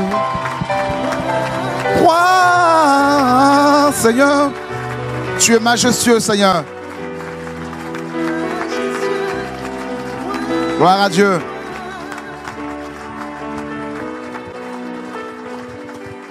Amen. Encore cinq minutes. Il est 12. Et la dernière étape, bien sûr, de la croissance des pères et des mères. Voyez, hein? Vous serez parfaits comme votre Père qui est dans les cieux est parfait. Nous sommes des bébés. Et nous devons aller plus loin après avoir reçu les bases qui constituent la racine de notre vie chrétienne. Et ensuite, on devient des jeunes gens. Étant bébés, nos péchés sont pardonnés à la, nais- à la naissance nouvelle. Nous sommes des enfants de la foi, des enfants en Christ. Nous grandissons. Nous tendons vers la connaissance du Père et non la connaissance, euh, n'est-ce pas, de la religion, mais plus la connaissance du Père, parce que c'est salutaire. Et là, ben, nous avons la force, nous avons la parole qui demeure en nous, en nous. Nous avons la victoire sur le péché, les démons, tout ça, la dépression. Et on continue, on s'arrête pas là. Parce qu'il faut être des, hommes et des femmes capables d'engendrer. Et là, ben, on devient des pères. Et là, Jean dit, vos pères, vous avez connu celui qui est dès le commencement, dès le commencement. Et encore là, la fidélité, c'est la connaissance toujours. Et si vous lisez les quatre, euh, la, parabole des terrains, la, la terre fertile, le terrain fertile a produit 30, 30 euh, trois sortes de fruits, hein. Donc euh, des fruits, mais en trois temps. Il y a 30, 30, vous savez, dans, dans, en hébreu, 3, c'est le chiffre 3, le, chiffre 3, c'est le, fondement, c'est la fondation. Voyez? Là, c'est la, c'est l'enracinement. Voyez? Il est resté trois jours sous terre. Jonas, trois jours dans le ventre du poisson. C'est l'enracinement. Enracinez-vous. C'est là. Il a pris les apôtres, il les a formés pendant trois ans. C'est les bases. On s'enracine. Voilà. Et ensuite, on nous dit 60. C'est le chiffre de l'homme. Là, eh ben, tu deviens un homme. Voyez? L'homme. L'homme. 6. Et ensuite, 100. Pourquoi 100? En fait, le nom de Dieu, en hébreu, a pour valeur numérique le nombre 100. Et 100, 100 nous parle, n'est-ce pas, n'est-ce pas, du nom de Dieu, tout simplement. Voilà. C'est la, la, le nombre, la valeur numérique du nom de Dieu.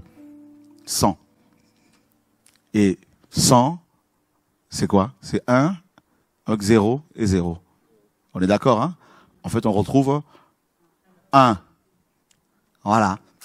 L'objectif de la croissance, c'est d'aller rencontrer celui qui est un. Adonai, Shema Israël, Adonai Elohenu, Adonai Ehad. Écoute Israël, Yahweh, notre Dieu, Yahweh est un. Ouh. Il ne veut pas être associé à d'autres. Un.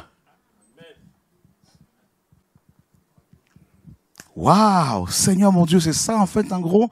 Donc tu nous fais souffrir comme ça là quand tu nous façonnes, c'est parce que tu veux qu'on te connaisse, parce que tu es jaloux. Donc si quelqu'un veut nous éloigner de toi, tu peux nous en séparer. Tu nous émondes, tu nous tailles, tu nous alléluia, Jesus Christ, alléluia.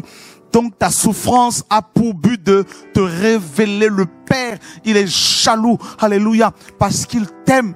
Oh, je suis jaloux pour vous d'une jalousie de Dieu parce que je vous ai fiancé un seul époux. Un seul époux. Yehoshua Amashia. Tout le monde, tout le monde peut t'abandonner, mais lui, lui, lui, jamais femme. Lui, il est là avec toi, il est là dans ta famille, il est là. Il marche avec toi, il veut marcher avec toi. Jeune homme, alléluia. Il veut faire de toi un instrument pour marquer cette génération. Alléluia. Oh, Jesus Christ, alléluia. Il veut se servir de ta parole, n'est-ce pas, la parole qu'il t'a donnée pour marquer cette génération-là. Il ne veut pas que tu baisses les bras. En tant que jeune couple, il veut se servir de ton couple, mon frère, ma soeur, pour impacter notre couple. Voilà pourquoi tu souffres. Il te donne une expérience, une expérience, une expérience, une expérience, une expérience. Alléluia.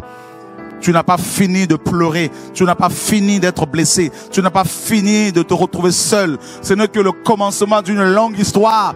Et tu n'as pas le choix. Tu ne peux pas faire marche arrière parce que l'œuvre qu'il a commencé dans ta vie va l'achever. Alléluia. Jesus Christ. Alléluia. Oh, la main de Dieu sur elle. Oh, Dieu de gloire. Il ne veut plus que tu pêches volontairement parce qu'il est saint, parce qu'il est pur, parce qu'il est glorieux. Et il ne veut pas seulement que l'onction soit avec toi, mais il veut t'amener dans la dimension de la gloire. La gloire, c'est le feu. La gloire, c'est le feu du réveil. La gloire, c'est la sainteté de Dieu. Oh, alléluia. Souviens-toi de ta conversion, ma fille, te dit le Seigneur. Quand tu t'es converti, souviens-toi comment tu pleurais ce jour-là. Et à cause des problèmes, tu te ramollis. À cause des pro- problèmes, tu commences à faire marche arrière. Tu ne peux pas ne pas avancer avec Dieu. Tu ne peux que persévérer avec le Seigneur. Tu ne peux qu'avancer avec le Seigneur. Et Dieu dit, je veux changer ton histoire, changer ton foyer, changer ta famille, tes enfants. Je vais toucher ta famille, tes enfants que tu m'as consacrés. Mais toi, femme, toi, femme, c'est toi que j'ai appelé. C'est toi, ma fille. Ces satanistes de la famille ne peuvent rien contre tes enfants, contre toi. C'est toi que je veux changer, c'est toi que je veux modeler. Voilà pourquoi tu pleures, voilà pourquoi tu souffres, mon fils. Dieu te dit, je te change, je change ton histoire, je change ton langage, je change ton expression, je change ta manière de voir, ta manière de parler, ta manière de t'habiller. Je change tout en toi. Le Seigneur dit, il va, il va, il dresse une table devant toi en face de tes adversaires et loin d'huile ta tête et ta coupe va déborder. Et quand ta coupe va déborder, c'est beaucoup de gens qui vont toucher, des voisins qui seront touchés. Alléluia, gloire à Dieu. La puissance du réveil va te précéder si tu persévères. Jesus Christ, alléluia. Et Dieu dit à quelqu'un ici, tu pleures, tu souffres pour des millions de gens, comme une femme enceinte. Tu es comme enceinte, tu éprouves les douleurs de l'enfantement. Voilà ta souffrance, mon enfant. Voilà tes pleurs. Voilà, voilà ce que tu, tu vis depuis quelque temps là. Dieu ne t'a pas oublié, t'a pas abandonné là. Il est en train de te façonner. Laisse Dieu finir son œuvre dans ta vie, jeune femme. Là où tu es assise, le Seigneur met sa main sur toi. Il te libère de la mort qui s'en va de ta famille, qui, s'en va de ta vie là. La mort qui te quitte maintenant, démon de mort. Cette femme ne mourra pas. Tu sors de sa vie ce soir. Quitte-la, quitte-la, quitte-la. Et les démons de mort qui sont, sautez, sautez. La mort, la mort s'en va. Allez. Jesus Christ. La dé- délivrance, la guérison là. La guérison, la guérison, la délivrance. Allez. Allez, tu la lâches. Allez, sortez. Quitte-la. Au nom de Yeshua. Sors de là. Le perfectionnement, c'est la délivrance. Jesus Christ. Allez, sors de sa vie là. Démon de Mali là, du Mali là. Sortez. Yeshua, alléluia. Oh, il y a des choses qui sortent. Il y a des chaînes que Dieu brise ce soir. Des chaînes. Marie de nuit, Marie de nuit. Lâche cette femme. Lâche-la. Lâche-la. Marie de nuit. Sors. Sors. Sors. Sors. You are. You are.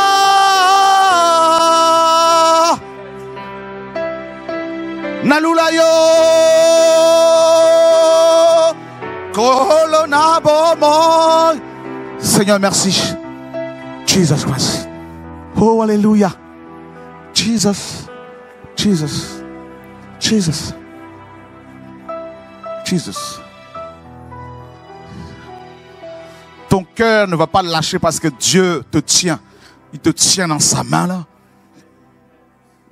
Au nom de Yeshua. Père, à toi la gloire. À toi la louange. Oh, il y a quelque chose ici, là, ce soir, là. Il y a quelque chose, alléluia. Oh, la restauration au nom de Yeshua. La restauration au nom de Yeshua. La restauration, alléluia. Oh, Jesus Christ. Oh, alléluia. Le nom de Dieu. Alléluia, alléluia, alléluia, alléluia.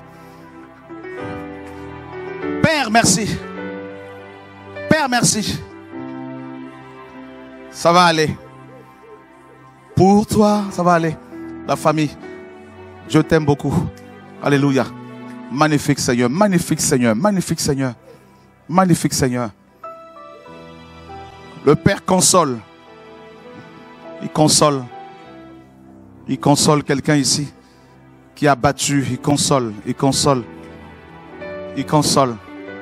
Oh, alléluia. Le Seigneur va visiter vos familles. Le Seigneur va essuyer tes larmes. Le Seigneur voit tes larmes et te dit, ma fille, je te connais, je t'aime. Le Seigneur va faire de vous des parents de beaucoup d'enfants là. Des enfants que vous allez encadrer, des enfants, il va vous donner même des enfants que vous n'aurez pas eu. Tout ça là, des orphelins, tout ça, vous allez les nourrir, les soigner. Le Seigneur te dit, ma fille là, je suis ton père là. Alléluia. Le Seigneur voit tout ce que tu as pu endurer là. Le Seigneur, là où il y avait la division de la famille, des problèmes de maladie, le Seigneur va amener la restauration au nom de Yeshua. Alléluia. Oh, alléluia. Le Seigneur va te justifier, te dit là, il va te justifier dans la famille, il va te justifier auprès de tes ennemis là. Fortifiez-vous au nom de Yeshua. Une porte est ouverte pour vous là. Il, vous dit en tant que couple, vous allez enseigner sa parole, tout ça. Et, beaucoup de couples seront touchés. Le don de guérison va vous accompagner, tout ça au nom de Yeshua. Là où la maladie a fait la ravage, des, des, ravages dans la famille, le Seigneur va vous amener à, amener la restauration au nom de Yeshua. C'est lui qui vous a mis ensemble pour son œuvre, tout ça là, en dépit de, critiques, de combats, des épreuves. Le Seigneur vous dit là, il vous connaît au nom de Yeshua, alléluia, gloire à Dieu. C'est son plan parfait là, au nom de Yeshua, alléluia, gloire à Dieu. Il y a ce manteau de, de prophète sur toi, mon frère là, tout ça au nom de Yeshua, alléluia. Oh Dieu de gloire, alléluia. Il atteste. Et le Seigneur vous dit là, une grande maison vous attend là pour pouvoir, une maison, vous allez le servir là, tout ça, vous allez recevoir des gens là pour apporter la parole du Seigneur au nom de Yeshua. Notre Seigneur est sauveur, il libère les finances pour vous là également. Au nom de Yeshua, gloire à Dieu. Le Seigneur aime ce couple là, c'est magnifique, magnifique Père. Magnifique Père, magnifique Père. Père, Père, Père. Oh Père, des cœurs qui saignent, des cœurs qui saignent ici, que Dieu restaure en profondeur, restaure en profondeur, qui restaure en profondeur. Alléluia. Chantons, Père. Père. Père, merci.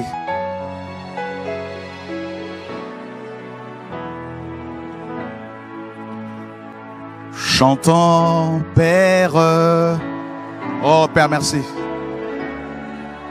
Père. Père. Oh, Père, merci.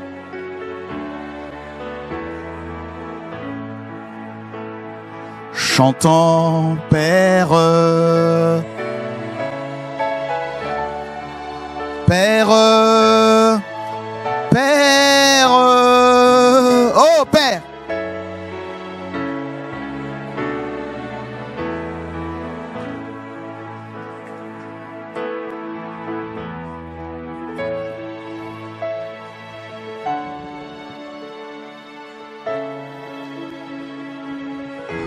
Gloire à Dieu, on a fini, gloire à Dieu.